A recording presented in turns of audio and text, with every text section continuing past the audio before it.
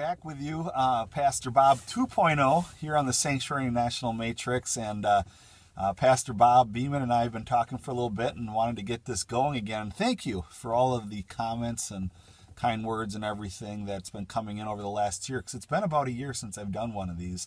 Um, and it's my hope not to get real ambitious and doing it every day or anything like that because I'm also a, a, pastor of a church, but to at least get one out every Wednesday.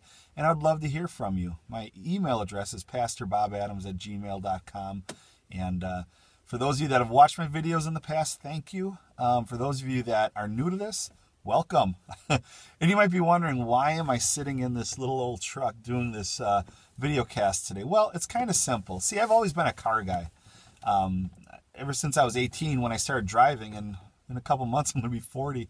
Um, I've always enjoyed cars. Sadly, I swapped out cars so many times uh, to the point where, you know, if it's a couple hundred dollar used car, fine. But it got a little out of hand in the my early 20s when I would start swapping out financed cars. Now, I love the new smell of cars. I love the way they handle, the way they look, everything. But started getting dangerous because you'd finance one car, a couple years later trade it in, and the loan wasn't fully paid off, so they'd piggyback that on the new loan and now you're owing way more money than you should for a car, a new car, or a used car. And so here I am sitting in this 1996 Chevy S10, um, 180,000 miles on it, 180,000 miles on it, little five speed, uh, four four cylinder. Nicest thing about it is this little uh, Pioneer deck that I put in, so I can play my iPhone and my iPod and everything, um, Pandora.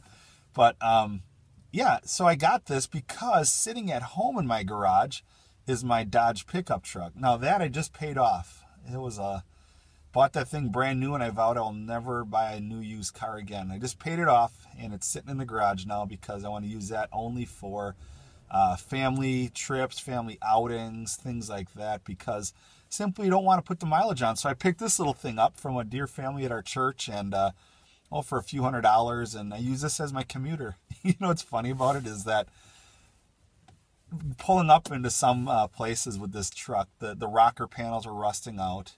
Um, it sits lower in the back, needs shocks.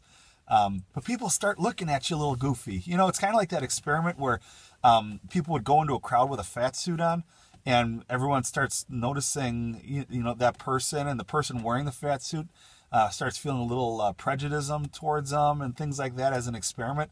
Same goes with this. Our society is so absorbed on looks and, and keeping up with things and going for the next big thing that, you know, we kind of forget about contentment. You know, Apostle Paul in um, in in the in Philippians chapter 4 verse 12 says i know what it is to be in need. I know what it is to have plenty. I've learned the secret of being content in any and every situation whether well fed or hungry whether living in plenty or in want.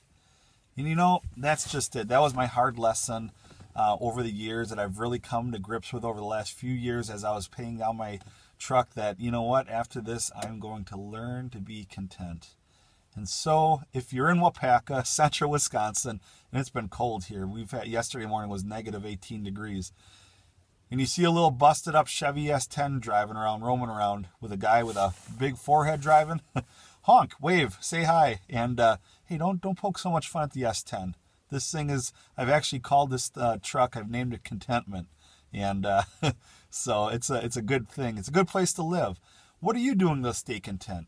What are you doing to live a content life? Shoot me your thoughts, pastorbobadams at gmail.com. Love to hear from you, and I will talk to you next Wednesday. Bye.